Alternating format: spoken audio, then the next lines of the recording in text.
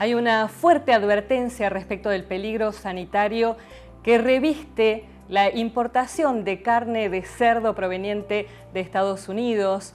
Eh, los productores de carne porcina están muy preocupados. Hace poco tiempo atrás, el vicepresidente de Estados Unidos se reunía con el gobierno argentino y a partir de allí se daba vía libre al acceso a, de carne de cerdo proveniente de ese país. Recordemos que eh, hacía 25 años que estaba vedada esta posibilidad. Estamos con un eh, veterinario de la Universidad Nacional de Río Cuarto de vastísima trayectoria, más de 30 años dedicado a la producción porcina. ¿Qué tal? Buen día, Juan José Buzo. Buen día. Eh, Especialista en el tema, ¿no? Bueno, es, demasiado, pero de todas maneras hace mucho tiempo que estamos trabajando así. Bueno, buenos días primero. Un gusto estar con ustedes, poder compartir con ustedes y la, y la audiencia algunos, algunos conceptos sobre este tema que tiene, que tiene relevancia importante para la sanidad porcina en la Argentina y para muchos otros aspectos, por supuesto. ¿Cuál es el síndrome del que se está hablando cuando se hace referencia al ingreso de carne de cerdo y la posibilidad de que esa enfermedad de la cual Argentina está libre se haga presente? Bueno, de lo que se está hablando fundamentalmente es de un síndrome que se llama síndrome respiratorio reproductivo porcino, eh, que es producido por un virus. No vamos a dar el nombre del virus, pero es producido por un virus. La Argentina, en la Argentina es una enfermedad exótica, o sea que nunca estuvo presente en nuestro país. Eh, hay otros países del continente americano como Brasil y otros más que están libres también. Eh, en, realidad esto de la, importación, de la apertura de la importación es un aspecto que a nosotros nos parece que es importante remarcarlo en principio por tres aspectos fundamentales. Uno de ellos es el impacto en, la producción nacional, porcina. La Argentina es un país que está en un estatus sanitario muy bueno y tiene una calidad genética excelente en producción porcina. Eh, estamos en condiciones casi óptimas. Eh, eso por un lado, digamos, el impacto que al decir de, eh, que el presidente de la Asociación de Criadores de Cerdo de la Argentina, el ingeniero Uccelli, estamos eh, al borde de perder, qué sé yo, 35 mil puestos de trabajo, menciona él.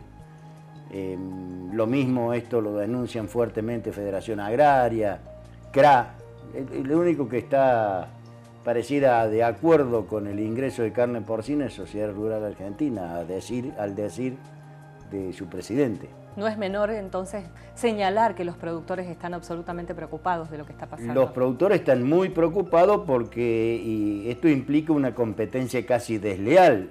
Este, los acuerdos bilaterales que hacen los países a veces deberían ser más participativos con quienes están involucrados en el sistema. Por otro lado, también hay que decir de, que casi se está generando como un engaño al consumidor. De hace un tiempo atrás, en la Argentina habíamos resuelto vender carne fresca de cerdo, que es una de las carnes que se ha incrementado el consumo en forma notoria, y esta es carne congelada que viene, se descongela y se vende como fresca. Eh, y, por otro, y por último, digamos, eh, o por último, casi en el mismo nivel, el impacto del riesgo sanitario que implica traer carne de un país donde esta enfermedad que mencionaba recién, que era el síndrome reproductivo respiratorio porcino, eh, tiene una prevalencia que afecta a casi todas las granjas de Norteamérica, de, de todo el continente norteamericano, si se quiere. Eh, entonces, bueno, eso es, muy, muy riesgoso. Eh, de todas maneras, la Argentina viene importando carne de Dinamarca, además de importar carne de Brasil. Y Dinamarca es un país que tiene esta enfermedad. Eh, creo que en algún momento es importante marcar las fuertes contradicciones que, exige, que existen en el gobierno nacional con las actitudes que se toman con unos países y otros, incluso haciendo referencia estrictamente a esta enfermedad.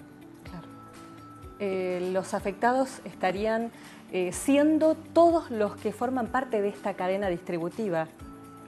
Los en definitiva, los productores y el consumidor final también, por como cierre de esta cadena. Por supuesto, esta enfermedad no afecta al hombre, no es una zoonosis, digamos. no afecta al hombre, pero tiene un impacto muy severo sobre, la producción. sobre la producción, sobre los valores productivos de, los cerdos. Em, pero fíjese que, es interesante y es importante remarcar, en, en Sudamérica hubo recientemente dos brotes en dos países, de esta enfermedad del síndrome reproductivo respiratorio porcino, creo que fue en el 2014. En Chile hubo un brote, eh, la Argentina cerró toda la frontera prohibiendo el ingreso de todo relacionado al cerdo a nuestro país. Eh, hace, pocos meses eh, en Uruguay se detectaron y se denunciaron la existencia de unos casos de síndrome reproductivo respiratorio porcino, al menos diagnósticos serológicos, y la Argentina, el SENASA, el Servicio Nacional de, Calidad, de Sanidad y Calidad Agroalimentaria, dependiente del Ministerio de Agroindustria, eh, cuyo ministro está totalmente de acuerdo con esto del ingreso de la carne porcina de Estados Unidos, a raíz de la aparición de esa enfermedad en la República Oriental del Uruguay, prohibió el ingreso de todo de cerdos, semen, carne y subproductos porcinos a la Argentina. O sea que se Acciones tomaron absolutamente contradictorias respecto y en esto ni siquiera hay una mención al respecto. Esto pueden ingresar a la página del SENASA y van a ver las, este, todo, todo, lo que se está planteando respecto a esta enfermedad. Eh, por lo menos en este caso, a esta enfermedad. Eh, hay contradicciones muy, muy severas. Eh, parece que Estados Unidos nos impone que le enviemos carne deshuesada, carne bovina deshuesada, haciendo referencia a aftosa y demás cuestiones, a pesar de que estamos libres con vacunación en esta enfermedad tenaftosa, y nos incorpora, y el Estado Nacional, en realidad los gobernantes, no el Estado, porque el Estado somos todos, eh, el gobierno nacional permite el ingreso de carne con alto riesgo, altísimo riesgo de que ingrese una enfermedad de la cual nosotros nunca la tuvimos. Claro. Eh, Juan José Buso, por último y de manera muy breve, ¿cómo se revierte esto? Planteado el problema, ¿cuál es la postura a tomar? Nosotros, eh, a ver, nosotros venimos denunciando esta situación ya con respecto al ingreso de carne de Dinamarca porque también tiene la enfermedad y ya hace tiempo que está ingresando, si van a los hipermercados van a ver que hay bondiola y otros cortes congelados, eh, carne, carne, digamos, fresca, no, no carne fresca congelada. Em, ¿Cómo revertirlo? Y eh, la, única forma de revertirlo es accionar desde, desde el punto de vista de los productores, tienen que ser parte del reclamo. Eh, las organizaciones y el consumidor también porque está siendo engañado, no le están vendiendo carne fresca, es carne congelada, entre uno y seis meses de congelado. Eh, entonces, bueno, cuando venimos diciendo que es importante el consumo de carne fresca del cerdo. Em, si bien el congelado no altera eh, la, calidad, no altera sustancialmente la calidad de la carne, pero la modifica en algunos aspectos, eh, estamos siendo de alguna manera engañados y estamos poniendo en alto riesgo la sanidad argentina, de, los cerdos en Argentina. Em, y la producción nacional. Y la producción, porque eso va a impactar. Y además, la supervivencia, especialmente en muchos pequeños y medianos productores, que se ven de alguna manera en una competencia desleal. Hay producciones que en otros países están siendo subsidiadas y los ingresos de, carne tienen un valor menor.